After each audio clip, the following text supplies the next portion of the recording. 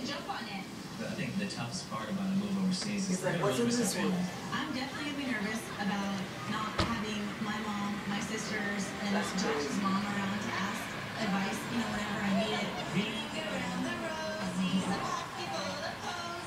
It's gonna be a culture shock to have to go um, out to the local markets to find new foods. My favorite thing I'm looking forward to learning Wow. is the midnight Got his stuff and he's out. He's like, oh, news, little break.